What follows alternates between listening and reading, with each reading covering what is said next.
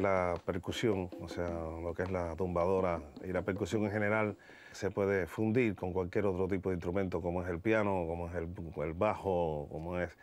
Yo pienso que todo, porque bueno, mi trabajo es ese, ¿no? O sea, mi, mi camino es ese, es fusionar la percusión con, con todo lo que exista, con todo lo que sea música.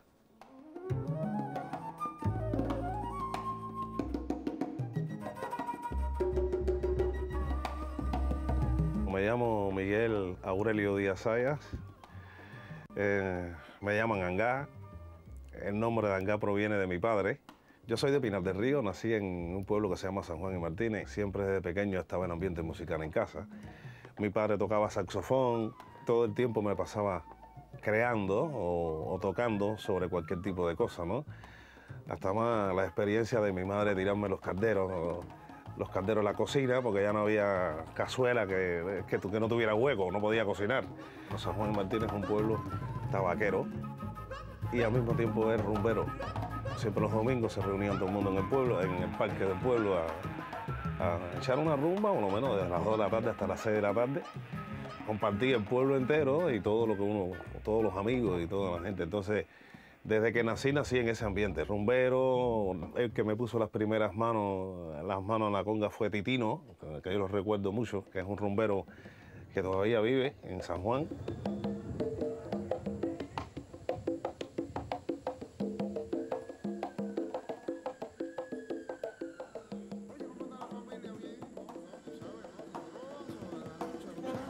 Al llegar a La Habana me pasó algo que a mí me impresionó.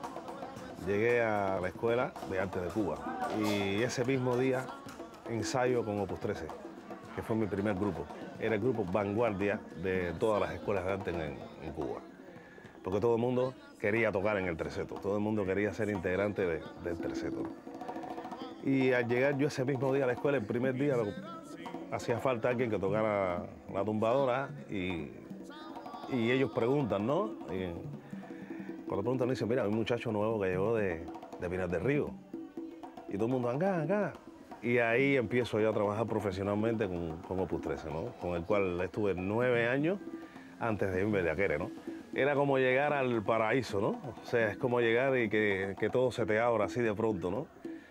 Y compartí muchas cosas, bueno, con Tata Wine, que es mi, mi maestro.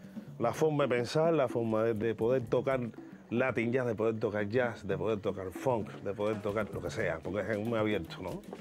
Y eso es lo principal que me llevé. Después de Opus 13, comencé con Iraquere, en, se fue mi gran alegría, ¿no? O sea, poder trabajar con los maestros. ¿no? Comencé como a la edad de 28, 28 años. Eh, transcurrieron como nueve años.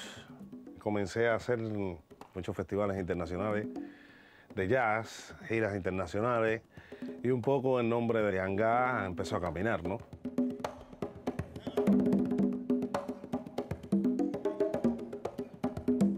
Al terminar con Iraquere, eh, ya vine a Europa, ¿no? A París, principalmente. Comencé a trabajar con Steve Coleman.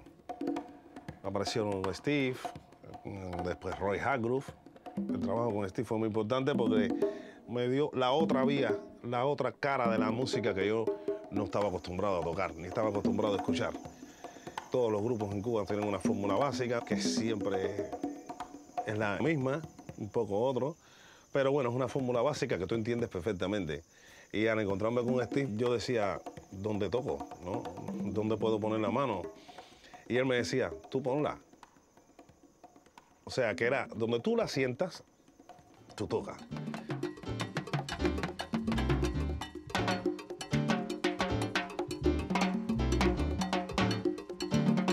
Después de esto, bueno, me llama Juan de Marco para a toda Cuba le gusta. El primer disco de, de Afro Cuba Star. Para mí fue como una alegría, ¿no? Regresar a mi raíz, regresar a mis ritmos, regresar a, a estar, con, estar con mi gente. Bueno, me sentí muy bien en ese disco, ¿no? O sea, la pasé muy bien. Ahí ya entonces conozco a Nick Gold, ya conozco a World Secret, conozco a Rubén González, hay Guajiro Mirabal, eh, Cachaito, bueno, en fin, todo el mundo, ¿no?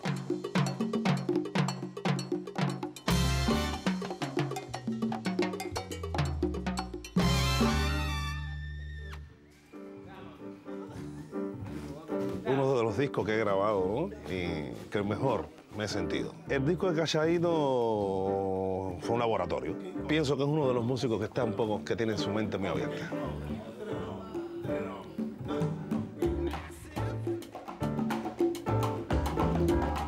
Siempre pensé que mi disco fuera la continuación de Digo Callado.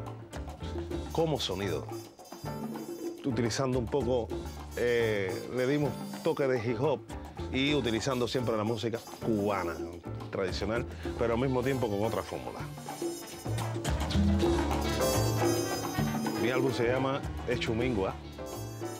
Echumingua es mi nombre de santo en la religión yoruba. Echu es el Eguá, el santo que abre y cierra los caminos. Quise ponerle este nombre porque es todo lo que he tenido en mi cabeza y que he ido analizando todo, todo el tiempo y toda mi vida, ¿no? El disco es una misa espiritual hecha música que tiene un principio y que tiene un fin. Si no saben, la misa espiritual es, cuando se llaman a los espíritus, a la tierra, a disfrutar de una fiesta. Jesús Pérez, Helio Revés, Rafael Lai, Ignacio Villa, Mercedita Valdés, Benny Moré, Pablo Roche, Bello La Procán, Carito Callaba, Dani Fernández. Rezos es el segundo tema del disco. Es el lamento que se hace para llamar a los espíritus a la tierra a que vengan a hablarnos y, vengan a decirnos las buenas cosas o las malas cosas y vengan a participar con nosotros de la misa, que es una fiesta, ¿no?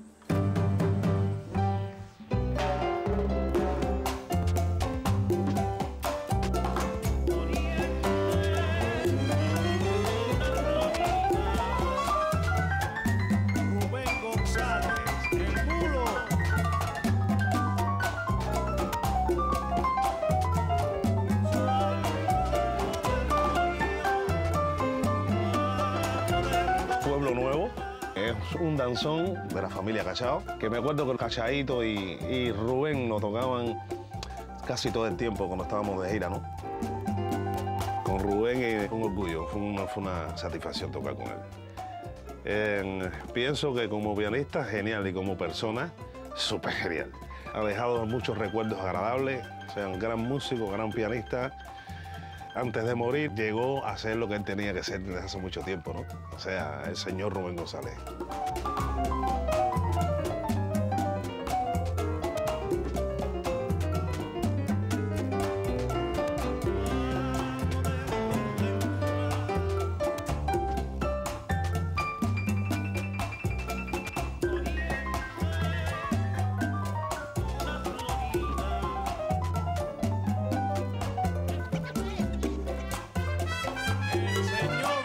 Concepto del disco es la unión de África, Cuba, eh, DJ.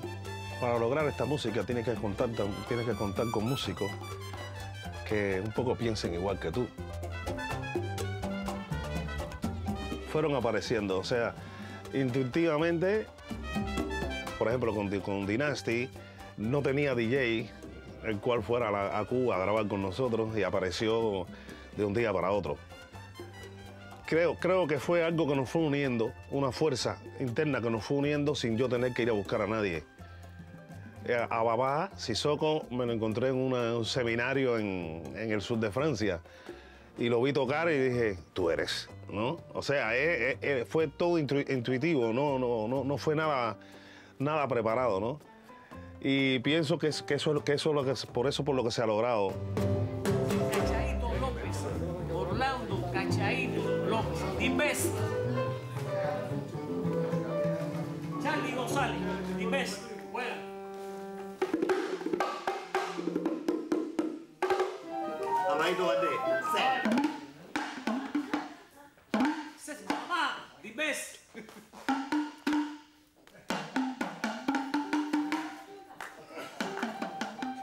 Casanova, afinador, the best. Jerry Boys, the best. Miguel Angá Díaz. Dimes. Tumi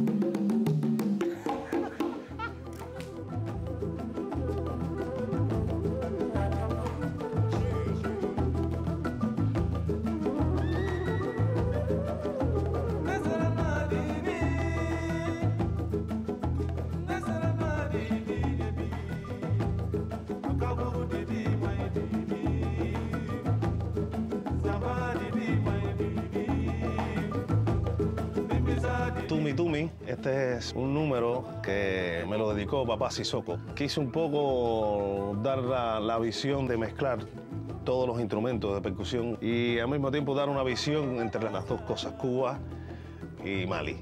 Tenemos efectos de DJ, eh, está Malik, Magic Malik también, proyectando voces, y al mismo tiempo haciendo efectos con la flauta.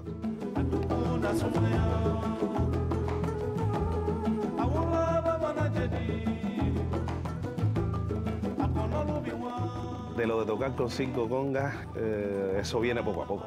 Mis primeros años fueron siempre con tres, cuatro. Creo que con cinco congas eh, la fórmula más importante que existe es la afinación, que, las, que tus congas siempre estén bien afinadas por cuartas o dependiendo de lo que vas a tocar. Y lo más importante para mí que tiene las cinco congas es, es, poder tocar y poder realizar melodías en base a todo lo que está pasando a tu alrededor. Tú puedes fácilmente tocar con un bajista, puedes tocar con un pianista, porque al mismo tiempo puedes crear junto con él muchas melodías y muchos puntos de detalles musicales.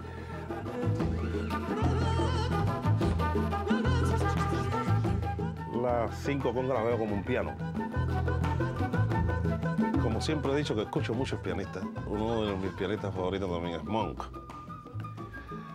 Y se me ocurrió la idea de, de por qué no hacer un midnight, pero con, con las cosas, en vez de eh, en vez que la melodía le hiciera el piano, que la melodía le hicieran las congas, le hicieran la tumbadora.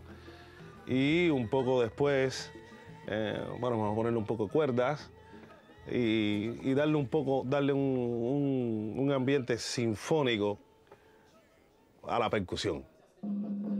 Teníamos que hacer un trabajo con la afinación de las, de las tumbadoras muy exacto. Eh, le tengo que agradecer a mi amigo Ray Bonini, que es el, para mí el afinador de tumbadora más perfecto que existe en el mundo, ¿no?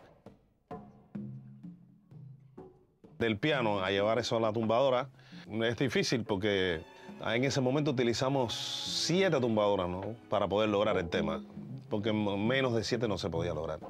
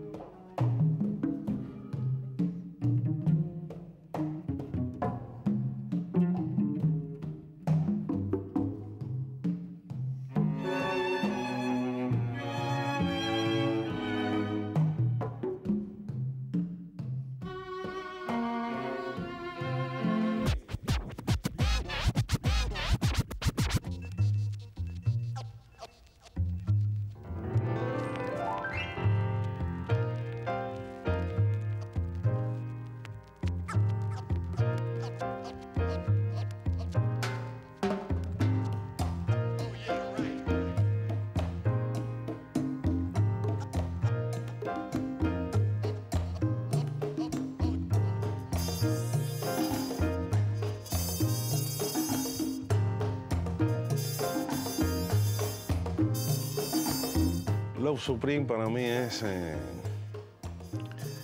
el himno nacional de, de, la espiritualidad. Y se me ocurrió la idea de hacer un homenaje a Contren dentro de mi disco con los Supremes y poniéndole tambores bará, poniéndole efectos, ponerle un canto batalá. Porque no sé, dentro de mí, eh, cuando, esto, cuando estábamos haciendo el, el, estábamos grabando, yo sentía que todo tenía que ver con Coltrane, que yo le estaba tocando a esa persona. Y he hablado con personas que lo conocieron.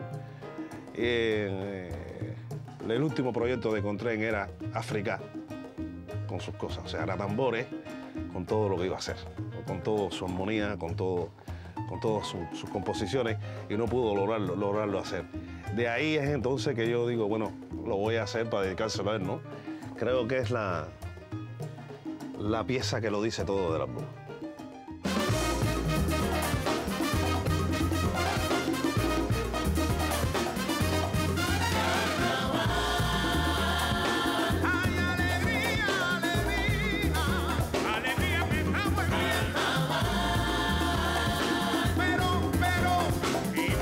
Carnaval, eh, que es como la fiesta final de, es como la cubanía, es como ya el, la parte ya alta de, de, de, la, de, la, misa, ¿no? Bueno, esto es un tema de Chucho Valdés. eh, le pedí que si lo podía grabar y, y accedió. Eh, está en la grabación él también, él trabajó.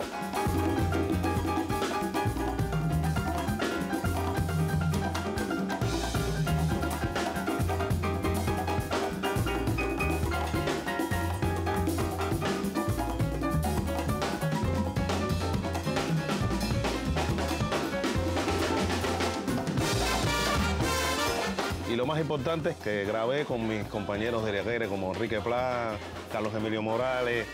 Y bueno, fue una experiencia muy linda, ¿no? De volverse a reencontrar en, en un estudio de grabación y, y yo tenerlos en mi disco que estén conmigo, ¿no?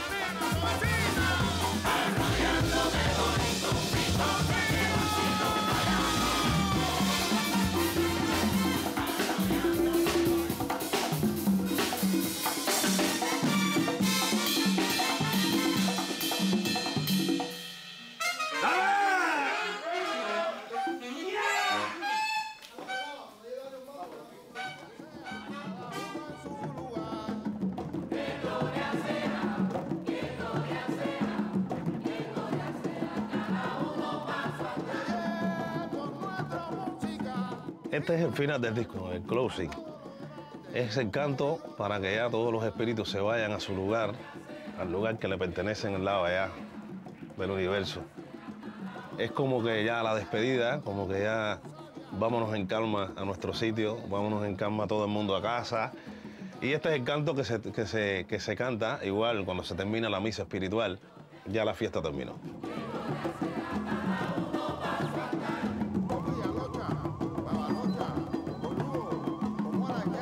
Pienso que la pintura también tiene sonidos. Un pintor pueda pintar y yo pueda tocar lo que él está pintando y que él pueda pintar lo que yo estoy tocando. Pienso que este disco se convertirá en un espectáculo o algo un poco más, más grande, live, en vivo, ¿no? Que se muestre esto, ¿no? Y trabajar con un pintor cubano, se llama Manuel Mendive, o sea, será su obra junto con la mía, ¿no? Cogí a Mendive porque hacía muchos años que quería trabajar con él eh, conozco su obra. Su obra y, y mi música tienen un punto en común, es lo espiritual y la unión de, de la cultura afrocubana, con, o sea, con lo que es África, con Cuba, todo lo que es la religión, tenemos un punto en común en, en ese aspecto principalmente en este disco. Creo que va a ser eh, un nuevo trabajo, una nueva evolución para la música. No lo pensé como disco, lo pensé como un performance.